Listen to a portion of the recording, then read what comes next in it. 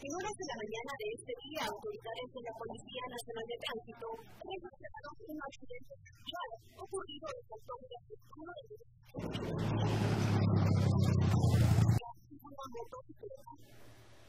Sí, decirle que esta mañana, a eso de las 07 horas con 30 minutos, en la ruta de paz, eh, específicamente en el kilómetro 177 del cantón El Aceituno de la jurisdicción de Yoloiquín, se dio el percance entre un Picat, placas particulares 611148 y la motocicleta placas M451291, eh, dándose el caso que el Picat, ambos vienen de norte a sur sobre la carretera y el Picat se dispuso a hacer un viraje a su izquierda para ingresar a su casa de residencia.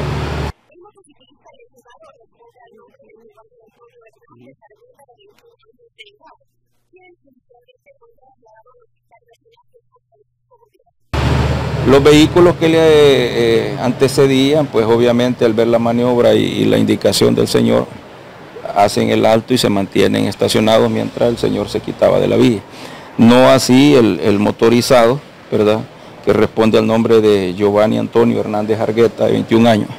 Él se desprende desde atrás de los vehículos e inicia la maniobra de adelantamiento sin observar que tráfico se había detenido por la maniobra del otro señor. En ese sentido, pues terminó con daños materiales ambos vehículos y con lesiones el motorizado, quien fue trasladado al hospital de esta ciudad inicialmente y posteriormente fue llevado al Seguro Social de San Miguel, donde eh, entiendo va a quedar ingresado porque según me informan, tiene una lesión de fractura en una de sus piernas.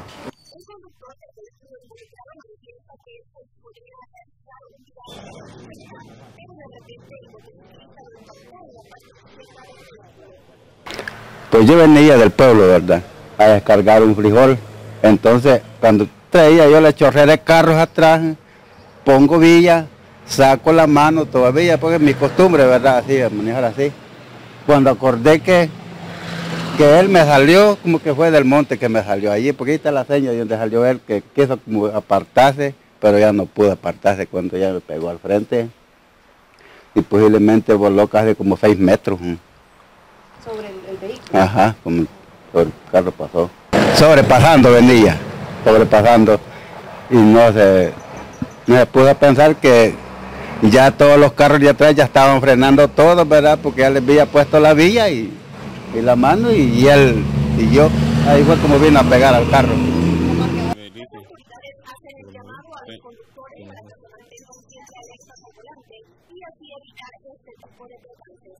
Básicamente la causa del accidente fue ese adelantamiento inapropiado sumado a la velocidad inadecuada que llevaba, ¿verdad? Y esto generó pues que, él terminara colisionando. En ese sentido decirle a la población pues que eh, andemos muy atentos al movimiento vehicular, si no andamos muy pendientes de por qué de repente el tráfico se detiene y solo decidimos sobrepasar este tipo de situaciones, pues de hecho son comunes. La gente ve que los vehículos se detienen en la vía, y deciden sobrepasar sin preguntarse o sin valorar por qué el tráfico se ha detenido. Entonces en ese sentido este muchacho le pasó lo mismo y terminó lesionado a causa del accidente.